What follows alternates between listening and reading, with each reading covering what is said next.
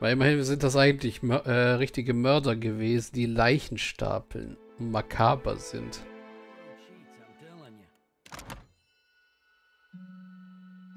Hat aber an den beiden, so wie es aussieht, nicht wirklich was geändert. So, ich habe jetzt dafür aber erstmal die Möglichkeit, Kopf vor Kopf auszusortieren. Äh, habe die Möglichkeit, die Hundestatue unter den Nutzgegenständen zu finden. Oder einfach so. Steintoxin. Hm. Sie auszurüsten und Alof das Horn zu geben. Eigentlich soll ich Seraphin geben, das Horn. Pilzgalle, schmorendes Gift. Pack das mal weg. So.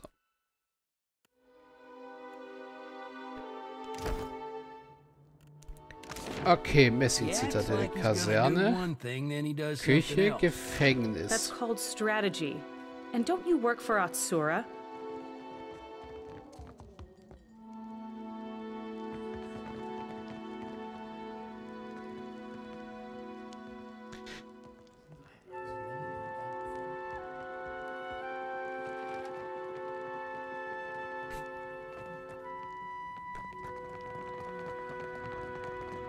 Okay, hier schon mal nicht. Gucken wir uns noch mal die... Ja. Ich muss in die Festung eindringen, um das Herz zu beschaffen. Festung aus Messing.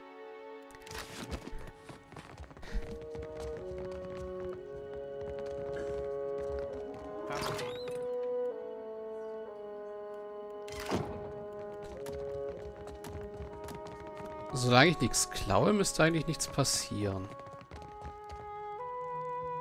Treue sogar im Tod. Ne?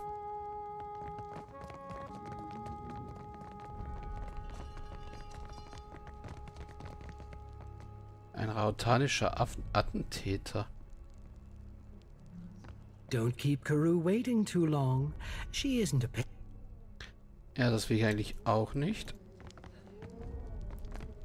Sicherheitshalber immer speichern. Nicht, dass ich einfach doch aus Versehen was auslöse.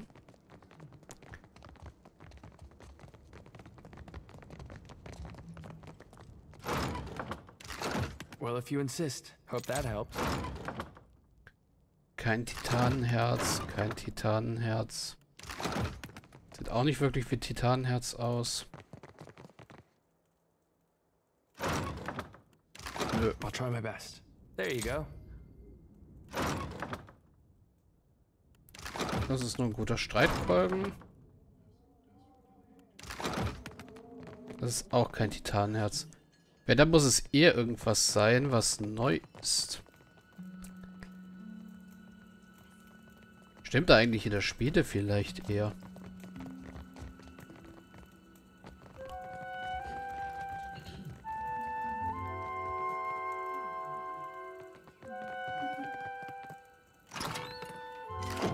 Auch kein Titanenherz. Hier hinten ist nur die Schmiede. Ist das hier überhaupt eine Schmiede? Ne, das ist eine Küche. Hier komme ich leider nur unten raus in der Messing-Zitadelle, nicht oben.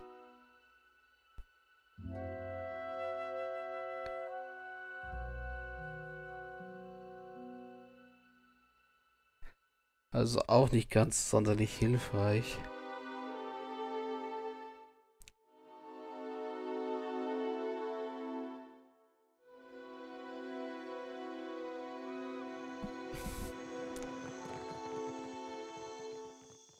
Na gut. Hier. Oh, hier ist noch ein verwaister Hund, den ich nicht eingesammelt habe.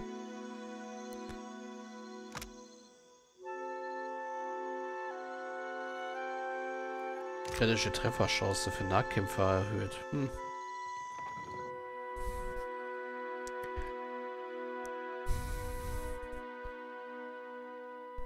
Ich glaube irgendwie nicht, dass das Titanenherz im Pulverhaus rumgammelt.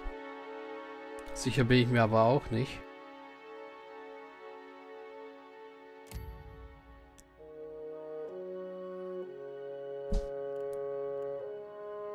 Was haben wir hier für Orte hier oben? Nur den Übungsraum und das Büro und die Treppe und der Quartiermeister.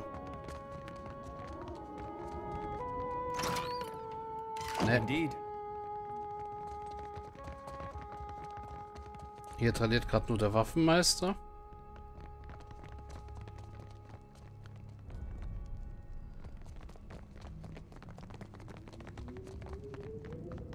Hier ist auch nicht wirklich jemand. Ich glaube nicht, dass die Quartiermeisterin mir da helfen könnte. Of course. Ne, hier ist nur Schwarzpulver. Good to see you again. Okay, die hat nichts zu sagen.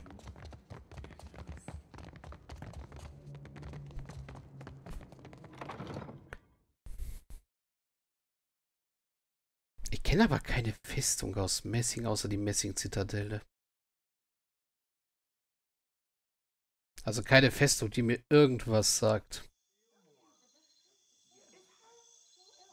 My Seraphin, is there anything you have a hard time with, aside from humility? Oh, I reckon I'll be a fancy at most things, more so all things piratical. If only we were all as confident in real skills as you are in imagined ones. You'd be right surprised how far confidence will take you, lad. Well, you'd have to give it a try. Okay, Seraphin und Alof haben äh, Diskussion. Alof fragt Seraphin. Ach, Seraphin, gibt es etwas, das dir schwerfällt, abgesehen davon Bescheidenheit zu üben? Darauf Seraphin. Ich denke mal, dass ich mit den meisten Dingen gut zurechtkomme. Mit allen Piratensachen noch besser. Alof darauf. Wenn wir doch alle von unseren tatsächlichen Fähigkeiten so überzeugt wären, wie du von deinen eingebildeten. Du wärst überrascht, wie weit man es mit Selbstvertrauen bringen kann, Junge, wenn du es nur einmal versuchen würdest. Mhm. So, you fell for all of Nitahi's flowery talk of cultural pride. Oh, das war da die Sache mit der Tafel. Das haben wir noch nicht mal richtig abgehakt. Also, du bist auf Nites idealistisches Geschwätz vor kulturellem Stolz reingefallen.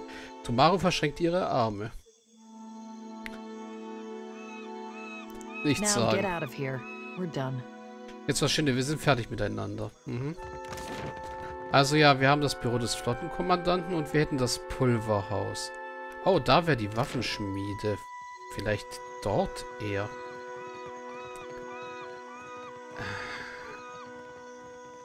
Das wüsste ich wirklich nicht, wo man das Ding suchen sollte.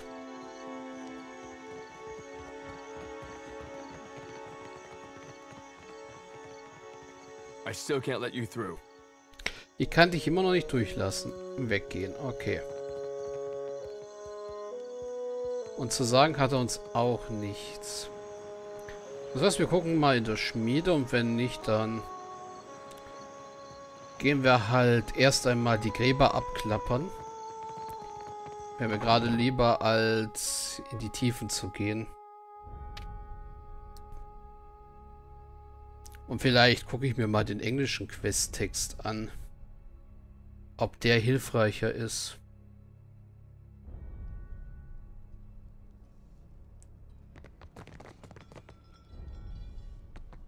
Looking for a pistol or an arc Looking Was hast du eigentlich so? Drachen mit Gift.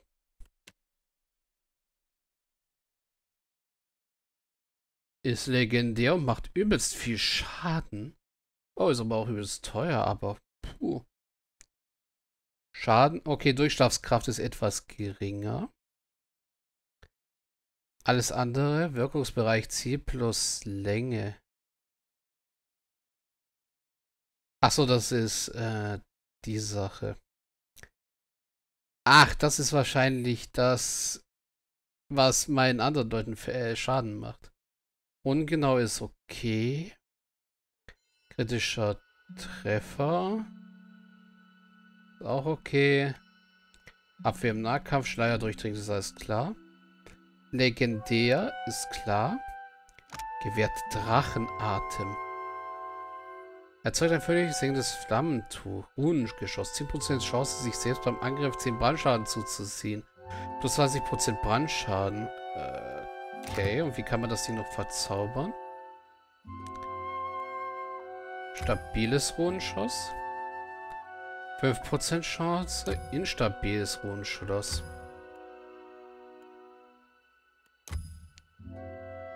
Äh. Drachenatem, flammender Zorn. Gewährt flammende Furie. Wut der Schlange gewählt Wut der Schlange. Feuert eine Salve unvermeidbarer Feuerprojektile ab und verursacht Brandschaden. Die Explosion von Runenpulver sorgt jedoch dafür, dass der Träger Brandschaden leidet. Flammende Furie erhöht die Angriffsgeschwindigkeit für eine Zeit lang drastisch, sorgt aber nachlässig für nachlässiges Nachladen und das Abbrennen von Runenpulver fügt dem Träger mit der Zeit Brandschaden zu. Nee. Aber ich sollte wirklich noch mal gucken, was habe ich denn so an Akibusen? Gar keine. Weil Maya die andere trägt, hä? Ich kann immer noch nicht nach Typ... Ich könnte ihm eine hervorragende geben.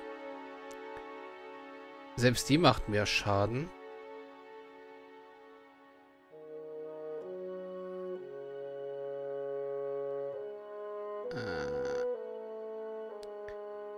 Ja, aber ansonsten habe ich leider keine. Oder ich bin gerade blind und sehe sie nicht. Pistölchen. Ich kann nämlich leider nicht nach Typ sortieren. Was ich etwas ärgerlich finde immer noch.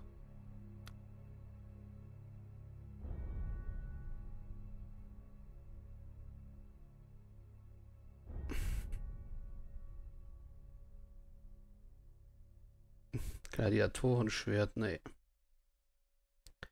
Ne, ich sehe absolut, außer den beiden hervorragend, sehe ich absolut keine.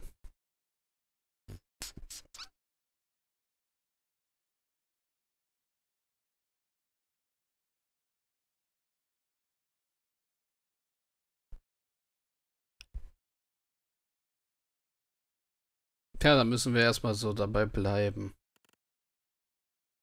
So gewöhnliche Pistole.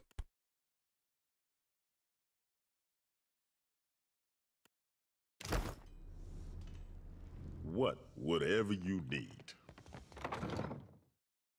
Okay. War auch nicht sonderlich hilfreich und ich habe keine Ahnung, wo ich jetzt noch hier in der Messing-Zitadelle suchen soll.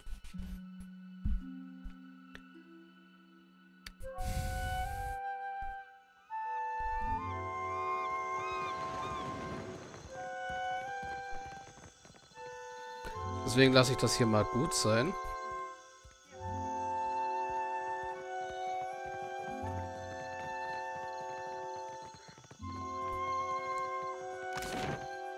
Kann ich heilige Treppen direkt?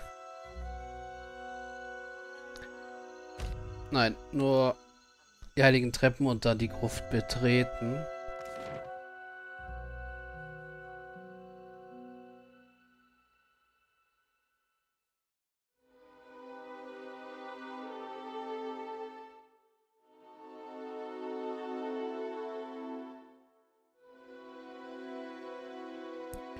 Und ich würde sagen, wenn wir die Gruft betreten haben, machen wir erstmal wieder einen Cut. Bevor wir uns weiter zu, äh, weiter vorwagen.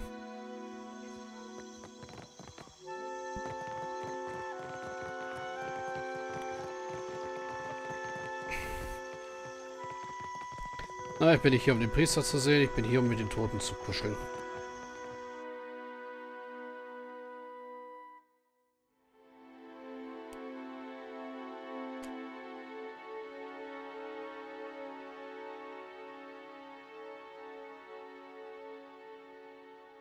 Vielleicht hat ja auch der Berater oder Berefer oder wie man ihn auch immer nennen möchte, uns was Neues zu erzählen, nachdem wir ja den äh, Hafen seiner Erzfeindin zerstört haben.